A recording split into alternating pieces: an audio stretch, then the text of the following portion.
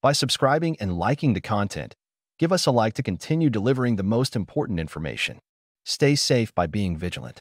With that out of the way, let's delve into today's news. Arizona woman accused of funding North Korea's missile program through IT job scheme. In a shocking revelation that intertwines cyber manipulation with international security threats, Christina Marie Chapman, a 49-year-old from Litchfield Park, Arizona, has been indicted for orchestrating a sophisticated scheme that allegedly funneled millions of dollars to North Korea's ballistic missile program.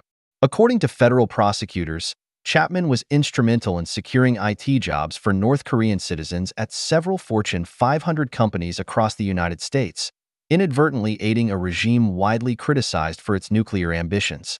The indictment, unsealed this Thursday, outlines how Chapman and her co-conspirators exploited the identities of over 60 U.S. residents to facilitate employment for North Koreans in sectors critical to the U.S. economy, including technology, media, aerospace, and automotive industries.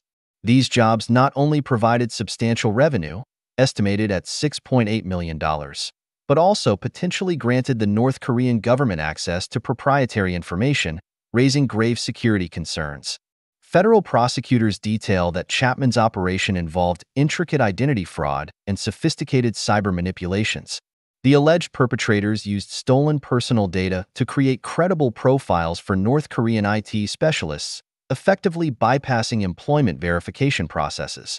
In some instances, Chapman's network added millions of dollars to laundry accounts via manipulated balances, showcasing their technical prowess and the profound vulnerabilities in digital employment and payment systems.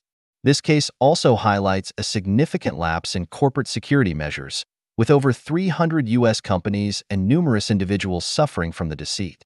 The entities affected include top-tier firms from Silicon Valley to Wall Street, underscoring the pervasive reach of the scheme. The breach has led to false tax liabilities and compromised personal and corporate data, accentuating the intricate links between identity security and national safety.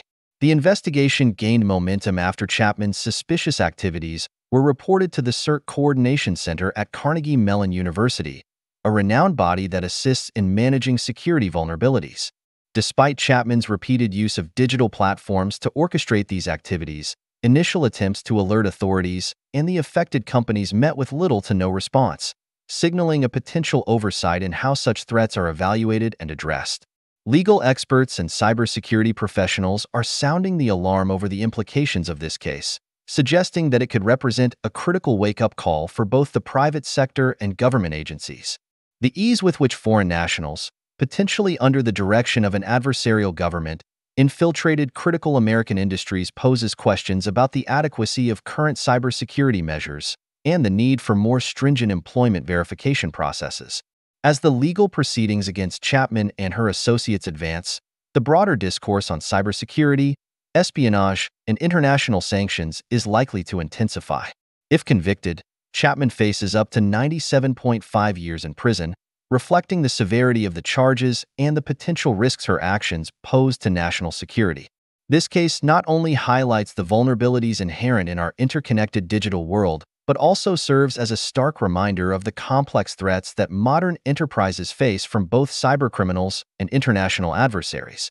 The unfolding events will undoubtedly prompt a reassessment of security protocols across industries, urging companies to fortify their defenses against an increasingly sophisticated array of cyber threats. For ongoing updates, Monitoring trusted cybersecurity news sources like DigitalGuard 114 can provide deeper insights into the evolving landscape of cyber threats and defenses. And now, as we reach the end of our news segment, please remember, for a detailed list of our sources, you can find them in the description of our YouTube video. Thank you to everyone who watched today's program. Remember, by following us, you become part of a reliable source for information and advice. Whether you like the program or not, please press subscribe to join our community.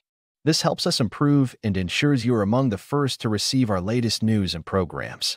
Don't forget to hit the like button and share our channel with your friends. Farewell, until we meet again.